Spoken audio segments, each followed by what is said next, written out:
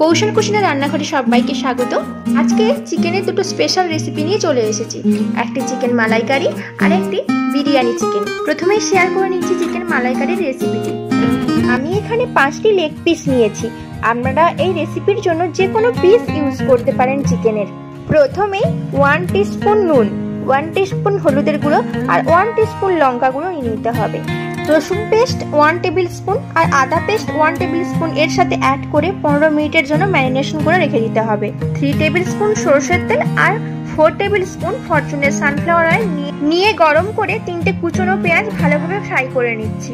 এর সাথে অ্যাড করে নিচ্ছি দুটো লবঙ্গ আর দুটো দারুচিনি। কিছুক্ষণ পরে অ্যাড করে নিচ্ছি ওয়ান টিস্পুন লবণ। এরপর ভালোভাবে কষিয়ে নিয়ে চিকেন লেগ পিসগুলো এর মধ্যে দিয়ে দিচ্ছি।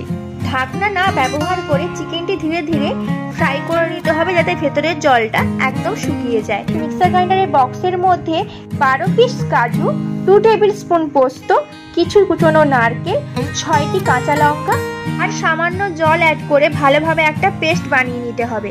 এরপর চিকেনটি ভালোভাবে কষানো হয়ে জলটা একদম শুকিয়ে গেলে এর সাথে অ্যাড করে নিতে হবে বেটে রাখা মশলাটি। এরপর ধীরে ধীরে কুড়ি মিনিট মতো ভালোভাবে মিক্স করে ফুটিয়ে নিতে হবে। চিকেনটি যখন তেল ছাড়তে শুরু করবে, তখন এর মধ্যে অ্যাড করে নিতে হবে রোস্ট করে রাখা এলাচের গুঁড়ো আর সামান্য ঘি। এরপর ভালোভাবে সব মিক্স করে নিলে রান্না কমপ্লিট তারপর সুন্দর করে গার্নিশিং করে উপর থেকে ধনে পাতা আর পুরানো নারকেল দিয়ে দিলে ready spicy chicken malaikari. Next recipe biryani chicken দেড় কেজি মতো চিকেনের একটু বড় বড় পিস করে নিয়েছি।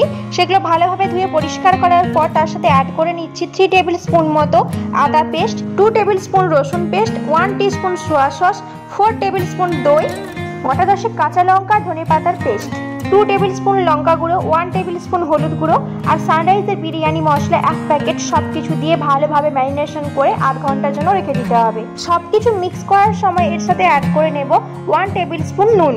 হাফ কাপ মতো সর্ষের তেল ভালোভাবে গরম হয়ে গেলে তার মধ্যে দিয়ে দেবো তিনটে কুচনো পেঁয়াজ।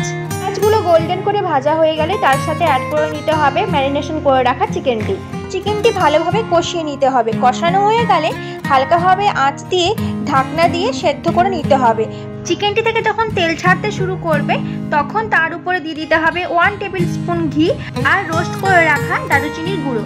বিরিয়ানি চিকেন রেডি হয়ে গেলেই উপর থেকে বেরেস্তা ছড়িয়ে গরম গরম পরিবেশন করতে হবে বিরিয়ানি চিকেন। চিকেনের এই নতুন রেসিপিগুলো তোমাদের কেমন লাগল? একটা লাইক কমেন্ট করে জানানোর অনুরোধ রইল তোমাদের কাছে। ধরনের নতুন নতুন রেসিপি আর আরও অনেক রেসিপি দেখার জন্য, তার সাথে মিনি ব্লগ দেখার জন্য, ভালোবাসার সাথে আমার পাশে থেকে চ্যানেলটি সাবস্ক্রাইব করতে ভুলো না। অনেক ভালোবাসা আর শুভকামনা জানিয়ে শেষ করছি আজকের ভিডিওটি